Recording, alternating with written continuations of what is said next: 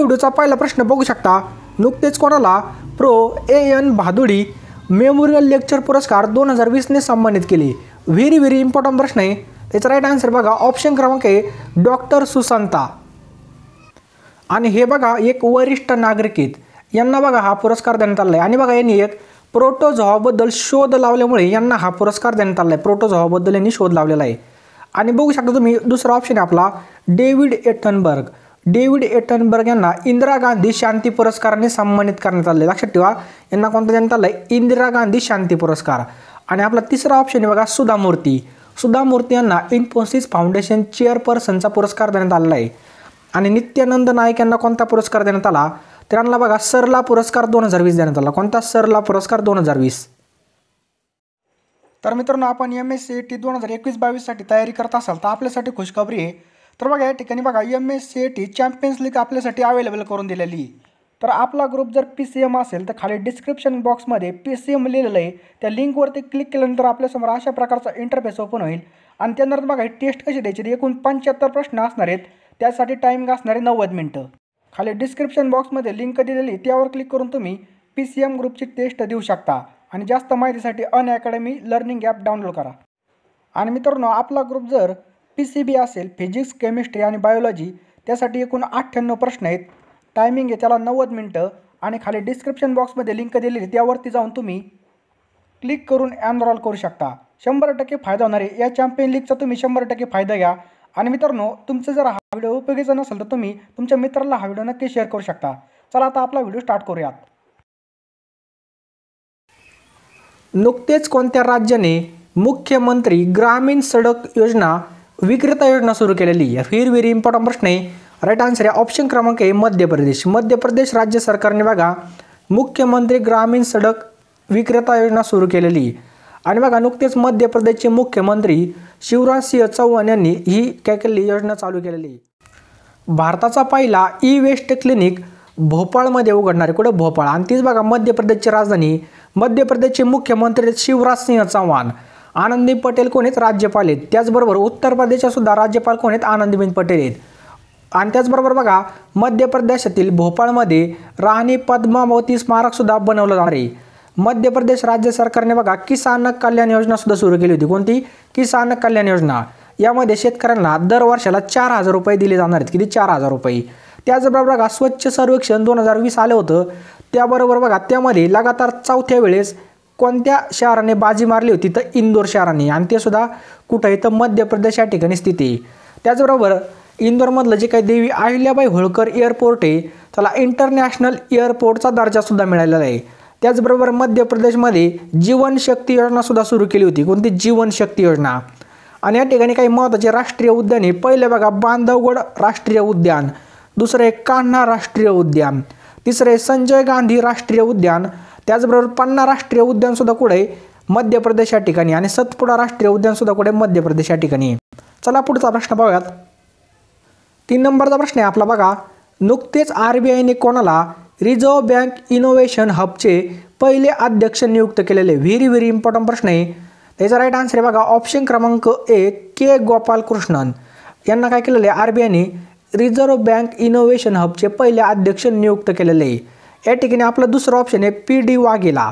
P D Vaghel यांना telecom regulatory ऑथॉरिटीचे अध्यक्ष बनवण्यात आले पी एस रानपीचे सर्वांना माहिती असं कोण आहेत? तर सी आर पी एफचे इन्स्पेक्टर जनरल बनलेले आहेत. आणि ए पी महेश्वरी कोण आहेत? डायरेक्टर जनरल आहेत. लक्षात ठेवा. त्याचबरोबर बघा समीर कुमार खरे. समीर कुमार खरे हे आशियन डेव्हलपमेंट बँक म्हणजे जे काही आशियाई विकास बँक आहे त्या ठिकाणी बघा एक्झिक्युटिव्ह डायरेक्टर बनलेले आहेत. कोण? हे समीर कुमार खरे. त्याचबरोबर बघा एस बी आयचे अध्यक्षसुद्धा कोण बनलेले आहेत? तर दिनेश कुमार खारा. आणि या ठिकाणी बघा आर बी आय आलेलं आहे. तर आर बी आयची स्थापना एक एप्रिल एकोणीसशे पस्तीसला झाली होती किंवा एक एप्रिल एकोणीसशे पस्तीसला आर बी आयची स्थापना झाली होती. त्याचं हेडक्वार्टर आपल्या मुंबईमध्ये स्थित आहे आर बी आयचं. आणि तिथलचे गव्हर्नर आहेत शक्तिकांत दास. आणि हे कितवे गव्हर्नर आहेत? पंचवीसावे गव्हर्नर आहेत. कितवे? पंचवीसावे. लक्षात ठेवा. आणि मित्रांनो तुम्हाला जर हा व्हिडिओ युजफुल वाटत असेल तर व्हिडिओला नक्की लाईक करा. मला नाही माहिती तुम्ही लाईक केलं की नाही केलं परंतु नक्की लाईक एक व्हिडिओसाठी करा. आणि आपल्या चॅनलवर तुम्ही नवीन असाल पहिली वेळेस तुम्ही व्हिडिओ बघत असाल तर चॅनलला सबस्क्राईब करून बेल आयकॉन ऑन करणं खूप महत्त्वाचं आहे. चला मित्रांनो आता चौथा प्रश्न पाहूयात. चौथा प्रश्न बघू शकता. नुकतेच कोणाला H D F C mutual फंडाने पुढचे एम डी आणि सीईओ बनवलेलं आहे. व्हेरी व्हेरी इम्पॉर्टंट प्रश्न आहे. नुकतेच कोणाला H D F C mutual फंडाने पुढचे एम डी आणि सीईओ बनवलं. ऑप्शन क्रमांक ए नवनीत मुनोत. कोणाला बनवलं? नवनीत मुनोत यांना बनवलं एम डी आणि सीईओ त्याचबरोबर ऑप्शन बी काय आपला? विशाल व्ही शर्मा विशाल विशर्मा शर्मा हे बघा युनेस्कोमध्ये भारताचे स्थायी प्रतिनिधी बनलेले आहेत. कोण? विशाल विशर्मा. शर्मा बघा तिसरा ऑप्शन आहे आपला अतनु कुमार दास.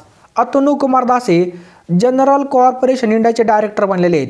आणि बघा त्याचबरोबर बँक ऑफ इंडियाची एम डी सी ओसुद्धा आहे ती. बँक ऑफ इंडियाची चला पुढचा प्रश्न पाहूयात आपण. पाच नंबरचा प्रश्न आहे आपला. नुकतेच फिफाने अंडर सेवन्टीन महिला वर्ल्ड कप रद्द केला. तर हा कोणत्या ठिकाणी होणार होता? व्हेरी व्हेरी इम्पॉर्टंट प्रश्न आहे. त्याचा राईट आन्सर आहे ऑप्शन क्रमांक आहे भारतामध्ये हा होणार होता. आणि बघा फेब्रुवारी दोन हजार एकवीसमध्ये हा आता होणार होता. परंतु कोविड एकोणीसमुळे रद्द करण्यात आला होता. परंतु आता पूर्ण रूपाने काय केलं? आहे कॅन्सल केलेला आहे. फिफाची स्थापना बघा एकोणीसशे चारमध्ये झाली होती. एकोणीसशे चारला फिफाची स्थापना झाली होती. आणि याचं हेडक्वार्टर कुठे आहे? स्वित्झर्लंडमध्ये ज्युरिक स्वित्झर्लंड या ठिकाणी. ज्युरिक स्वित्झर्लंड या ठिकाणी. सहा नंबरचा प्रश्न काय आपला? नुकतेच कोणती बँकेने नियो बँकिंग प्लॅटफॉर्म लॉन्च करणारी? व्हेरी व्हेरी इम्पॉर्टंट प्रश्न आहे. राईट आन्सर याचं ऑप्शन क्रमांक A S B M bank कोणती? यस बी एम आपल्या चॅनलचं नाव आहे एस एम बी तर ह्या बँकेचं नाव काय? एस बी एम बँक आहे. आणि बघा स्टेट बँक ऑफ मॉरिशसची आपली सहाय्यक बँकेने निओ बँकिंग प्लॅटफॉर्म लॉन्च करण्यासाठी फिनटेक बँकेसोबत करार केलेला लक्षात ठेवा. आणि या ठिकाणी बघा आपला एस बी एम बँक आलेलं आहे. एस बी एम बँकचे हेडक्वार्टर कुठे आहे? तर आपल्या मुंबई या ठिकाणीचे आणि याचे एम डी आणि सीईओ कोण आहेत? तर सर्वांना माहीत पाहिजे. सिद्धार्थ रथ. लक्षात ठेवा. सिद्धार्थ रथ हे त्याचे एम डी आणि सीईओ आहेत. सात नंबरचा प्रश्न आहे बघा. नुकतेच जंगली हत्तींना वाचवण्यासाठी कोणत्या राज्यामध्ये अँटी इलेक्ट्रोक्शन सेलची स्थापना केली जाईल? व्हेरी व्हेरी इम्पॉर्टंट प्रश्न आहे. तर राईट आन्सर याचा ऑप्शन क्रमांक बी पश्चिम बंगाल. कुठं पश्चिम बंगाल सरकारने राज्यातील बघा जंगली हत्तीच्या सुरक्षासाठी अँटी इलेक्ट्रो सेलची स्थापना केलेली. लक्षात ठेवा पश्चिम बंगालची राजधानी कोणती? कोलकाता आहे. कोलकाता कोणत्या नदी किनारी स्थित आहे? तर बघा हुगली नदी किनारी कोणत्या? हुगली नदी किनारी त्याचबरोबर मुख्यमंत्री कोण आहेत? पश्चिम बंगालचे ममता बॅनर्जी. कोण आहेत? ममता बॅनर्जी. आणि राज्यपाल कोण आहेत? जगदीप धनखड. पश्चिम बंगालमध्ये देशाचा पहिला टायर पार्कसुद्धा स्थापन केला जाणार आहे. आणि एक महत्त्वाची योजना आहे त्या ठिकाणची बघा पतश्री योजना. पतश्री योजना ही कोणत्या राज्याची आहे? तरी पश्चिम राज्य सरकारची पश्चिम बंगाल. त्याचबरोबर राज्य पुरोहित कल्याण योजनासुद्धा पश्चिम बंगाल राज्याची आहे. त्याचबरोबर बघा पश्चिम बंगाल म्हणलं का आपल्याला सुंदरबन टायगर रिझर्व आठवतं. तर हे कुठं आहे? पश्चिम बंगालमध्ये स्थिती आहे. आठ नंबरचा प्रश्न आहे नुकतेच कोणत्या खेळाडूने मास्टर गोल्फ टुर्नामेंट दोन हजार वीसचा किताब जिंकलेला आहे. व्हेरी व्हेरी इम्पॉर्टंट प्रश्न आहे. नुकत्याच कोणत्या खेळाडूने मास्टर गोल्फ टुर्नामेंट दोन हजार वीसचा किताब जिंकलेला आहे? राईट आन्सर आहे बघायचं ऑप्शन क्रमांक आहे डस्टिन जॉन्सन लक्षात ठेवा डस्टिन जॉन्सन आणि डस्टिन जॉन्सन हे अमेरिकेचे गोल गोल्फर आणि मित्रांनो आता या प्रश्नाचं उत्तर खाली कमेंट बॉक्समध्ये टाईप करायचं आपल्याला. नर्मदा आणि तापी नदीच्या दरम्यान कोणते पर्वत आहेत? व्हेरी व्हेरी इम्पॉर्टंट प्रश्न आहे. नर्मदा आणि तापीच्या दरम्यान कोणते पर्वत आहेत? याचं उत्तर खाली कमेंट बॉक्समध्ये टाईप करा. पी डी एफसाठी आपलं टेलिग्राम चॅनल जॉईन करा. आणि मित्रांनो आपलं दुसरं एक channel S M B preparation म्हणून. ते सुद्धा तुम्ही काय करू शकता? सबस्क्राईब करू शकता.